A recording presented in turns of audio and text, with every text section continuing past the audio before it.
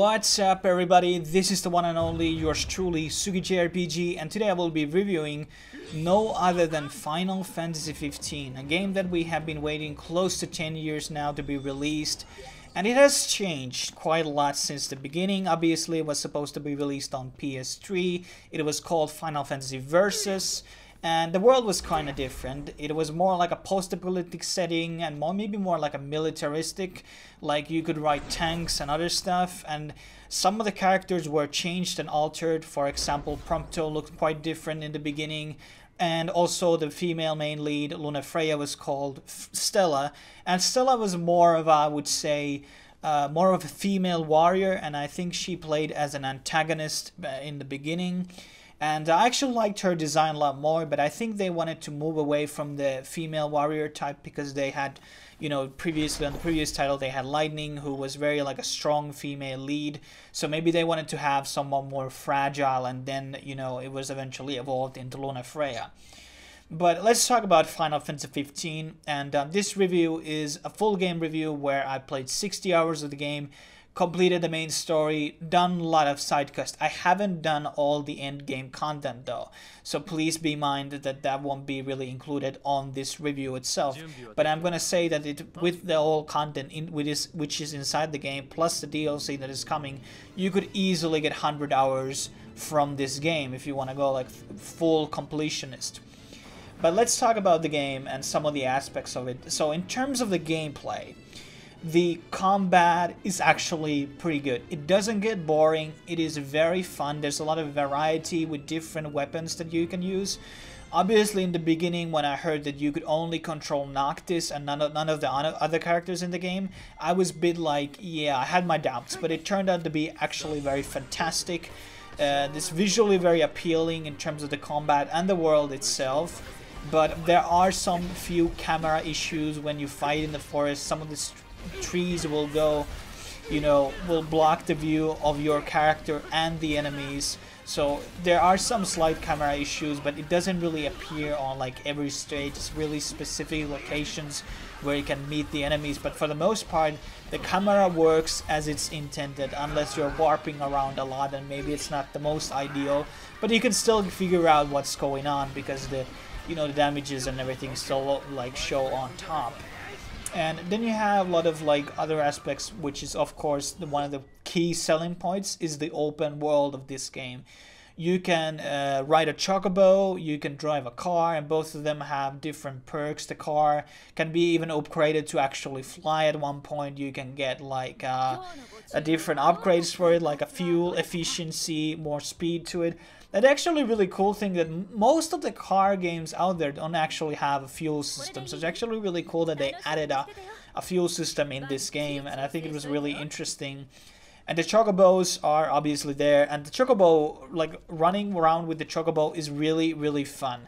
Um, it is you can glide with it, you can jump around, and there's even chocobo races that you can do, which have certain prices. You can customize your chocobo and the car, by the way. You can change the colors, you can add some medals to the uh, chocobo. As for the car, you can change the tires, the colors, the seatings. The you can even add decals to the side of the cars, and it's actually very very um, very open world and there's a lot of side quests inside the game so actually the main story itself is not that long and we'll be talking about that later but you're supposed to do a lot of side quests. This is kind of like the witcher 3 edition of a jrpg you're supposed to do a lot of side quests and um, you can do like hunts there are a lot of um, dungeons that you can explore with bosses on the end and then you have delivery quests then you have to find certain ingredients and obviously have um, some of the other aspects of the game eh, when it comes to mini games you can cook in the game. And the cooking is very similar to Tales uh, series cooking system. So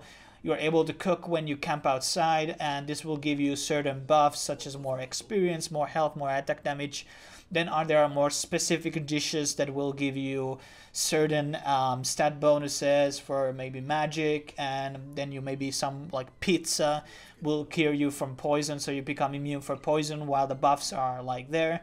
And it's very like a very fun game. I mean, the mini games are very fun because with the cooking you're able to collect the recipes throughout the world you can buy them from certain shops you can see when you buy from a store you eat yourself um, Ignis, one of the main characters, will learn the recipes when they see like other people eating food, and then you can also like read some books or see other people eat on the world, and he will learn through that to do a lot of recipes. And then there's obviously the other mini games, as I already mentioned, the Chocobo. Then there's fishing. The fishing is actually very fun. You're able to collect throughout the world different like baits that you can use or lures whatever you want to call.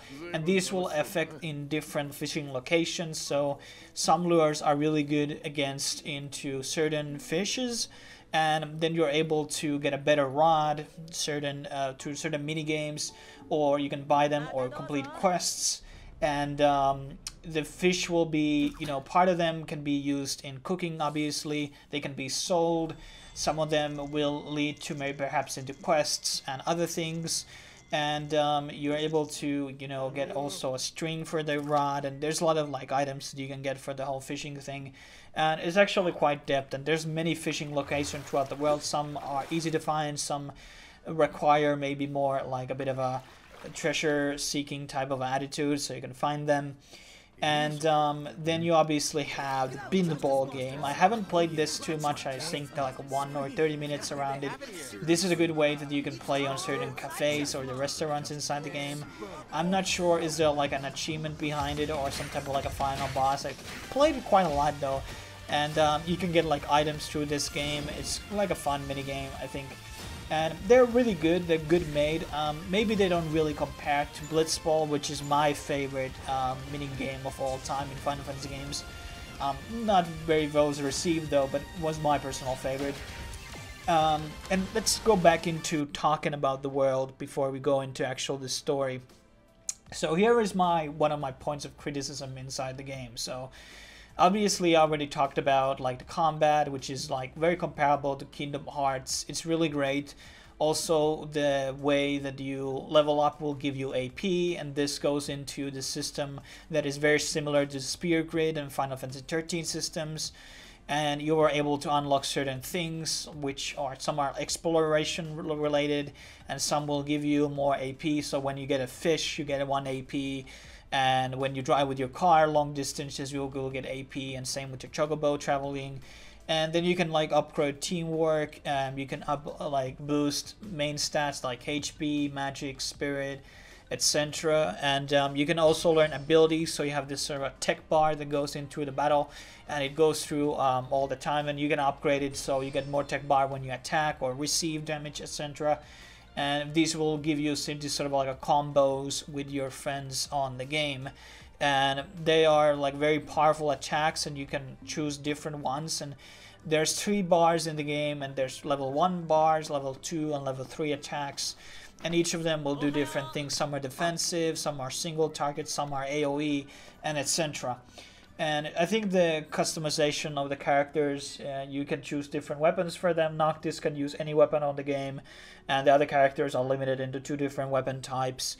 But everybody is able to get accessories and spells though. And there's a this the magic thing is a bit different in this game compared to other Final Fantasy games. So you're able to craft the spells throughout mixing uh, ice and blizzard. I mean fire, ice, and thunder and um, essentially this will give you certain combinations and you can increase potency. There are these like um, like shrine well not really shrines but at least like uh, like locations where you can absorb the energy and then you can fuse it up. Then there are certain items that you can you can mix it, them up with potions and then this these spells may heal you among with like dealing damage and then there will be multicast and stuff like that. The spells are very powerful in this game and they also do allied damage and it's a very interesting take on it and I kind of like it also. And um, so the combat is really good as I already mentioned. It's very uh, enjoyable. The customization system and unlocking things is really cool. Also like there's many things you can collect inside the game, games are quest related.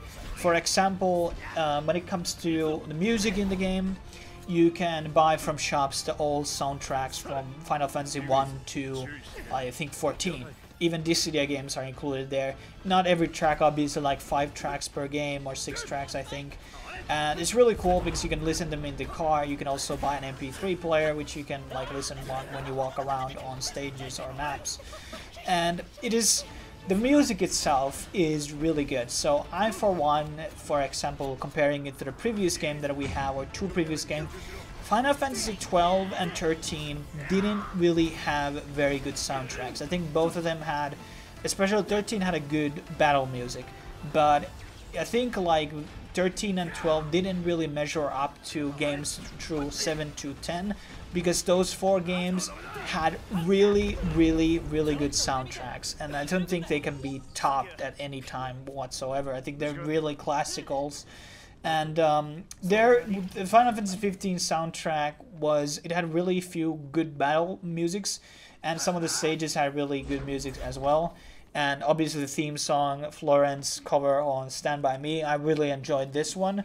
Maybe I don't like the theme songs as much as the Final Fantasy 9 and 10 one, but I still was thinking it was really good. I really liked it. And uh, the music is pretty good. It's better than, than in 13 and 12. I can't really comment on 14 because I haven't really played that one, but um, essentially it doesn't really compare to the games through 7 to 10 though. And back going to talk about the world, which I kind of touched upon. I should have finished it.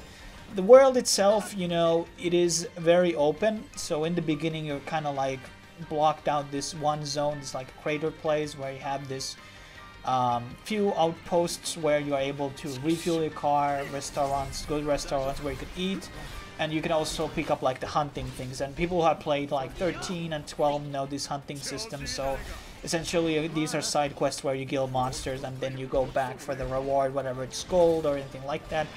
The monsters by default don't drop gold in this game, so most of the gold is earned by collecting items and treasures throughout the game and doing these hunt quests because the hunt quests give you the most gold in this game. Most of the other side quests do not give you gold. And um, this is, um, or gil should I say, that's the currency in the Final Fantasy game. But um, it's a good system, but um, sometimes you need to sell some stuff.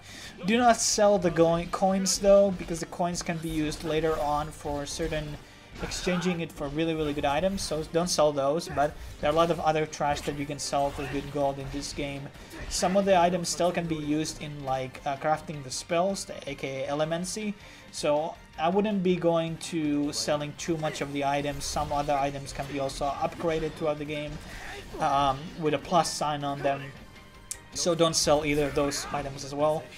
Um, and the world itself, you know, one big problem that I had with the game is no matter where you go, the trees look the same. There's literally the, you know, the middle zone of the game is this like um, forest slash like a swamp, and um, it is you know, very similar looking all throughout the game. The beginning zone is more like this, like a crater place, but there is not really an open world ice place or snow place or winter place in general. There's a one through the story. There is not like a one that is like a desert. You don't really have a jungle either. You got like a mini one. So one of my big point of problems was the, the world kind of looked throughout the same and also, there's not much cities inside the game. There's really like one, two cities that you can visit. There's four cities in total. Two of them are destroyed, and you will be visiting when they're destroyed, so you can't really shop there or anything like that. And I didn't really like the cities, to be honest, um, but except the ones that you can visit. And the problem with like this is when you go, let's take example, Final Fantasy 9 you have very lot of immersion in this game. You can create immersion very different ways. You can have a controller um, that you know shakes when you fall down or enemy comes, and that's a really good way to, like a small way to create immersion. Obviously, there is the VR. You can do that in the Final Fantasy 15. I'm not sure is it available right now though. It might be in DLC um, or coming in a later patch. But um, other ways is obviously the music, and I think Final Fantasy 15 does a good job with that. But the best way to create immersion is throughout the world, and it's through these structures that we see. In Final Fantasy 9, you have the the starting city, Alexandria, was a very remarkable type of a city because not only the city is a summon and it is also a weapon at the same time. It's a really magnificent and very iconic type of a city in the Final Fantasy world. Then you have Lindblum, then you have Cleyra, a city inside a sandstorm. Nobody has done that in any other game, TV show, or movie, to my memory. That is something really, you know, unique. And then you have, speaking of memory, you have Memoria, which is the last stage in Final Fantasy IX. This like a place that is kind of like a a weird like uh, you know nebula type of where the world is upside down you know you have very iconic you know places you have in FF, uh, Final Fantasy 8 you have Balamb Garden Final Fantasy 10 you have Spira Zanarkand um, I mean Luca Besaid Isles um, you have these very very immersive cool looking places in this game and when you go with this open world setting it really hurts the overall appeal of the, I mean it does look good but it, I don't think it's immersive. I mean, some of the is um, like Lestallum, which is one of the cities inside the game. It's pretty cool looking town, and I will remember it. It's pretty iconic. And then you have the outposts in the game where you can tank your car and go to restaurants and take quests. But the, most of these, you know, outposts look the same. They actually use the same restaurant model like five or ten times throughout the game and most of them just sadly look dissimilar and the woods and everything kind of looks similar and sure, you have the dungeons, which are unique, but I don't think they're like as great level designs. And the kind of sad part is that most of the cool looking places throughout the game are true story and you kind of revisit them throughout the game. So the level design in the open world is a bit lacking. I, not maybe lacking, but repetitive because you don't have these very super iconic places inside the game because I think all the games through 7 through 10 had very cool looking places. Obviously the games through 1 to 6 are 2D, so it's a different level of immersion, obviously. But the level design was very, very iconic in Final Fantasy VII with the Midgard and etc. So one of my points of criticism is that there wasn't really a lot of cities inside the game. The dungeons were really, really weren't that cool looking. And most of the story place missions were really like cool, like the train one that I really enjoyed. That was great. But um, essentially, you know, um, the world was a bit of a disappointment in certain aspects of, you know, you have these huge craters and huge rock walls, which was kind of like a way to create, to make it look more cooler, but you can't really, you know, okay, you can photograph them inside the game through Prompto, but essentially you can't really experience them because you can't really like go top of them or, well, I mean, you can't do that in the previous games either, but um, you know what I'm saying about the immersion right now. And finally, the biggest points of criticism for the game is the story. And there will be some spoilers in this section. There will be, should be a message in the screen right now where to skip on the video to skip this part and get into my final thoughts. Um, the story was huge, lackluster shitstorm. I mean, okay, first of all, you have to watch the Kingsglaive movie to really get more background story on Luct uh, uh, Noctis's father and Lunafreya. I think the movie is almost detrimental to the story and they only use like 5 seconds of CGI from the movie in the game, which is totally disappointment. They could have I mean, you don't need to show like a two minute CGI scene. You could have broken down into parts. And obviously, the first spoiler is well, everybody knows this already if you have seen the trailers. Noctis's father will die. Okay. And in the part of the game, not in the beginning of the game, so um, the, the events of the movie happen maybe two, three hours inside the game, and Noctis finds out his dad dies. And the big problem is that Noctis, you know, he gets into a tantrum, he's really mad at this, he's really mad at his dad because he failed the city and, you know, died. But the other characters inside the cast, other main characters, Ignis, Gladio, and Prompto, you know, they weren't like that shocked. This was their home that was destroyed, utterly destroyed, and it was destroyed. Hopefully, their half families. I mean, Gladio has a sister. She could have fucking died there, and she doesn't. He doesn't seem to be a bit worried about that, which is really, really fucking odd. Also, the refugees and the citizens who fled the city also don't seem to reflect that it was a really huge devastation that everybody was killed and the king has fallen. You know, there was no signs of depression, sadness throughout the NPCs throughout the game. about this event, which was really huge. And it was shown, the whole movie was summarized in like five fucking seconds where they show that the dad dies and the destruction of the city. But you know, you have to kind of watch the movie, get into the actual, you know, background story. And obviously, the anime also works. You should watch that also before the game. Um, the anime doesn't, it provides character development for the main cast but um, aside from that, it doesn't really, you know, um, contribute that much. You don't really need to watch the anime, but it's free on YouTube, guys. So you might as well watch it. But um, the other part of the story, which going back to one of the other flaws, is that you have other main characters in the game dying randomly. So, for example, the king of Niflheim, which is shown, by the way, like two times throughout the fucking game, which is really fucking sad and he dies like randomly. It's not even shown that he dies. He actually, spoiler alert, turns into a fucking demon, and this transformation is not even shown.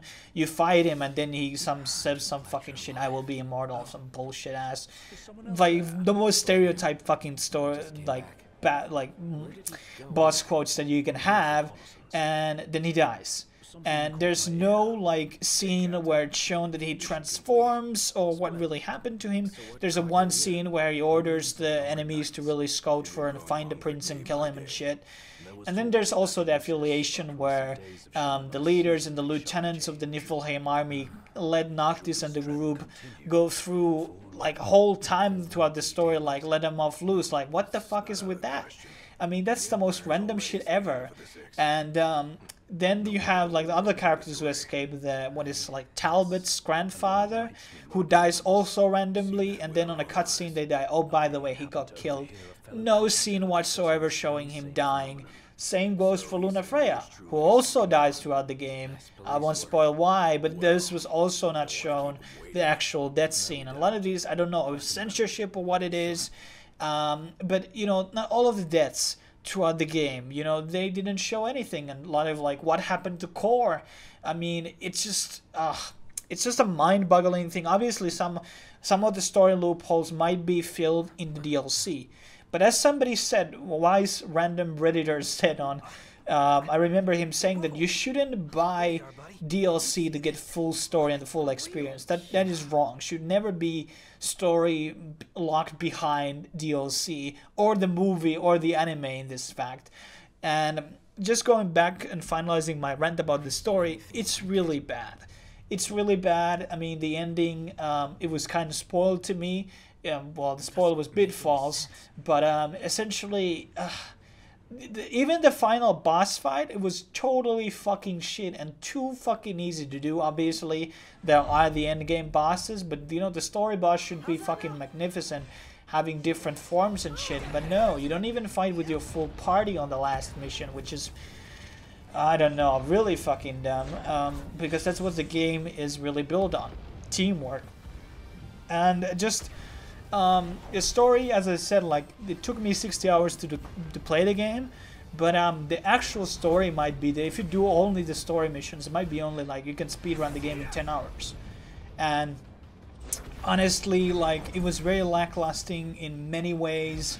Um, there was not really any twists inside the game except one which really didn't like oh i didn't expect i didn't know that but it wasn't like a really huge part of the story. Well, it was okay, but um, it, just. Oh my god, it's just I'm, I'm ranting so much. It's it's just a disappointment because the game was really perfect in a lot of the other ways. This could have been 9 out of 10 or 10 out of 10 if the story was better. It wouldn't have, you know, simply doing adding some of the CGI from the movie would have done a lot for the game. Um, adding more, you know, story aspects and dialogues and more more twist. The writing was just shit. I mean, it's just, as I said, no twists, bad character, you know, departures. Um, the ending, uh, you know, I guess it was okay. You know, endings are really hard to do. I'm gonna admit that, but essentially, you know, it, was a really lackluster game in terms of the story. It has to be one of the worst stories in Final Fantasy games. I mean, you had earlier a few months ago, well, two months ago, World of Final Fantasy was released, which I played. Also, review on the channel, by the way. had a great story. It was aimed for a more younger audience, but it still had a better story and more twists than this game, which is kind of sad because this game was fucking 10 years in the making and they still kind of like fucked it up. They fucked the story. Obviously, like the side missions are great. There's a lot of cool dialogue between the four of the characters and the main cast, and they were good. But uh, it just, you know, uh, damn. I don't, I don't want to talk about the story anymore because it really hurts me because it was such a flop. And as a closing thoughts, um, one thing that I forgot to mention is there's op obviously option to play in different languages. I played it on Japanese and later part I switched to English. And there's even chances to actually have German and French. Maybe I will try them as well in the latter parts when I start to play the um, end game stuff. But um, actually the Japanese audio was maybe worse than the English audio in this time. Um, the one problem that I have with the Japanese audio is in the world of Final Fantasy, other of the main other of the main characters, uh, Lann, you know, had the same voice actor who voices Prompto in Japanese. And this was really annoying for me. This was really annoying because this is the same guy who voices Natsu in Fairy Tail. He's in really fucking every anime. The Japanese have this problem they circulate the same talent all the time and because of that it gets really boring and also I really don't like the female voice actors too much I think in the English version for example um, Noctis maybe had a bit voice worse and Gladio and Noctis had better voice actors in Japanese while in English Prompto and Ignis I really like the Ignis voice actor for particularly um, Ignis and Prompto had better voice actors and for example like cindy um, had kind of bad on both actually. I didn't like the southern accent and i also didn't like the japanese one either but essentially you know just to summarize my thoughts about the game um, really long review by the way. It is a great game. In terms of gameplay if you're looking for a compelling story this is not the game. This is not the game. I mean Obviously, there are great story missions inside the game, and there's some cool dialogue now and then, but there is no twist. The story is absolutely predictable. Um, they're using the same model as again, where you know the supposedly the main evil is not the evil, kind of like the one that they did with the Seymour. And well, the Seymour tended to be like a good guy in the beginning, and then turned to be bad. And then you had Kuja, where Queen Brahne was kind of pitched as the main enemy, and then turned about the Kuja. You had this sort of a thing, same similar to in, in this game in Final Fantasy 15, but um, you know, gameplay good, you know, graphics are great, looks good. Locked at 30 fr 30 frames, but I didn't really notice it. Um, it's just really good game in terms of the gameplay and the side questing and how many hours you can squeeze out the game. But I, as I said, the story is really, really bad. And it was a really a shit show story. And it just wasn't really compelling at any stages. And I, they're kind of the pitching the idea that this is a brotherhood. This is, I just couldn't get into that level. I couldn't cry in the end of the game for the characters. I just wasn't able to create that relationship because I just couldn't give a fuck about the story. But um, essentially, it's a pretty good game. I do think that some of the shit DLC policies are pretty bad on this game because you can't buy the collector's edition stuff on PS Store. There is Season Pass, which I will be reviewing later on, obviously, when it comes out. And um, then there is obviously many other aspects in the game that were kind of fail, where they had that, you know, other game. Um, the 2D one Final Fantasy game, King's Tale, which was also like GameStop only or some shit. I can't even buy the game in Europe. What the fuck is up with that? And as I said, one of my points of criticism, if you skip the story segment of this review, I'm gonna say that um, essentially you have to watch Brotherhood movie torrented or some. I didn't enforce that. Uh, maybe, maybe you find it somewhere, maybe you borrow a DVD or something, but watch Kingsglaive movie before you play the game. Watch the anime if you have the time, because they offer a lot of character development, but you know, as I said, story lackluster, gameplay great. And um, thanks for watching this review. Hopefully you stay tuned and subscribe for more Final Fantasy 15 videos. Might do a few trophy guides, and obviously we'll be reviewing all of the DLC and maybe doing some boss fights or something. And obviously a lot more other JRPGs that I will be reviewing on this game. Probably the Final Fantasy 13 trilogy coming up next, among other games. I am Setsuna and other releases that are coming out soon. Um, thanks for watching and sticking throughout 30 minutes of this review, but this was such a big game that I had to talk about almost all of the aspects. There were a lot of things that I left out though, um, because it's just a really, really big game, and there's a lot of things to do in it, and um, you know, I don't still regret the buy, and I recommend everybody buying it. It's one of the must-buy games still for Final uh, for PS4, and um, thanks for tuning in, and I will see you next time. Cheers.